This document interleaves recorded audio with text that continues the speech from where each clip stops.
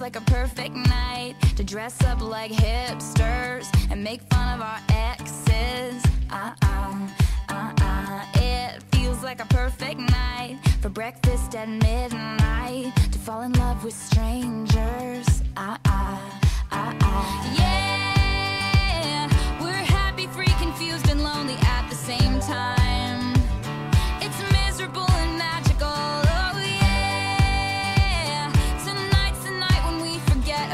dead